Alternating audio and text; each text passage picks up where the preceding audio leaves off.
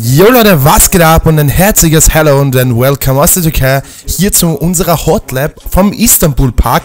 Ich freue mich wirklich mega, dass ihr eingeschaltet habt und falls ihr neu seid und ja, gern auf Gaming steht und natürlich auch auf Reactions. Abonniert diesen Channel, gern lasst gerne ein Däumchen da oben da. Schaut auch gerne auf Instagram und TikTok vorbei. Links sind alle unten in der Beschreibung. Da könnt ihr uns auch gerne folgen, falls ihr da auch auf unseren Stuff steht. Aber heute wird es ziemlich cool. Wir haben die Hot Lab, also ich habe die Hot Lab nämlich hier im Istanbul Park in Assetto Corsa gefahren.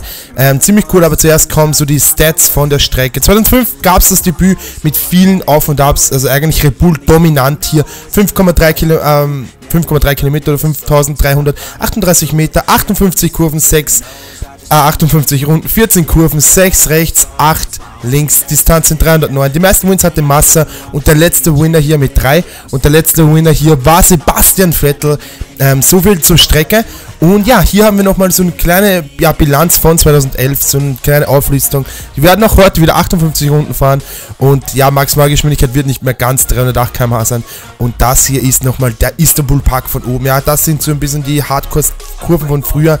Ähm, Topspeed 315 würde ich heute ehrlich gesagt noch weniger sagen, weil es ist wieder Regen und das ist sehr, sehr spaßig. Hier haben wir nochmal die DS-Zonen von f1.com und es gibt zwei DS-Zonen, einmal nach Kurve Nummer 10 und einmal natürlich auf Start und Ziel. Bei mir hier im Game gibt sie leider nur nach Kurve 10, also nach Kurve 9.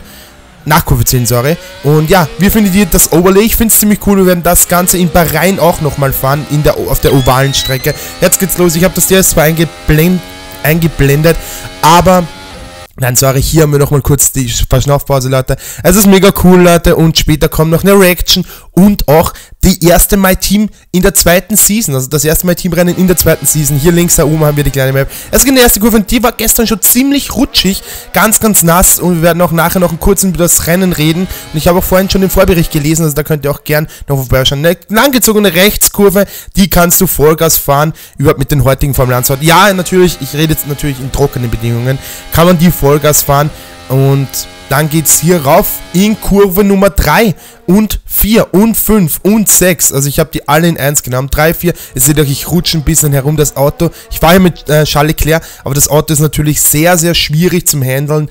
Und Kurve Nummer 6. Und ja, zack hier, das ist eine coole Mod.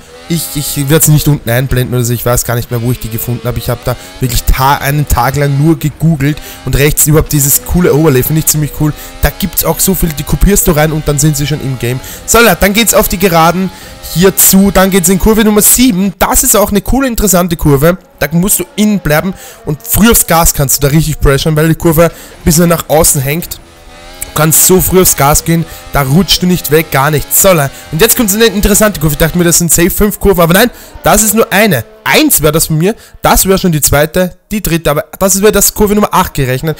Das ist, finde ich, so eine Mutkurve, weil die bin ich fast mit Vollgas gefahren. Ihr seht es auch oben rechts, also rechts unter der Zahl, die bin ich so gut wie mit Vollgas gefahren und das macht halt schon mega Spaß. Ja, da, dann neigst du dazu weit rauszukommen, aber trotzdem, das ist eine coole Kurve. Das, das, das sind keine Kurven, aber das sind Kurve 9 und 10, eigentlich eine coole Kurvenkomplex, ähnlich wie in Spanien.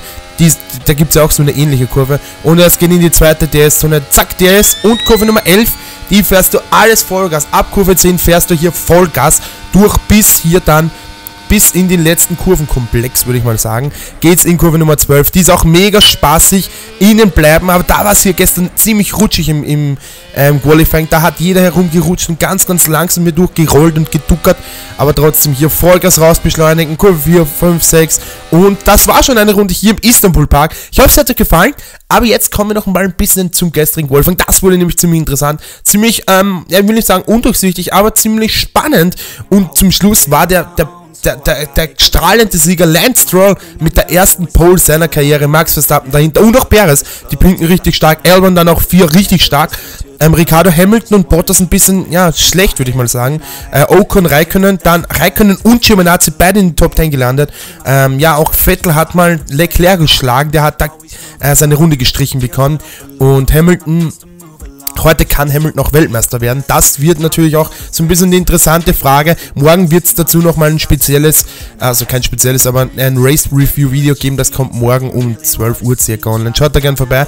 Und ja, wir werden uns jetzt nochmal kurz ansehen, wie was wann. Äh, wenn, also theoretisch muss Hamilton nur vor Bottas ins Ziel kommen, um das Ganze leicht zu erklären. Aber erster, zweiter, dritter kann ich mir nicht vorstellen, dass wird. Ich denke mir mal, wenn er Sechster wird, ähm, also wenn Bottas Sechster wird mit der schnellsten Rennrunde, ähm, dann muss Hamilton Neunter werden.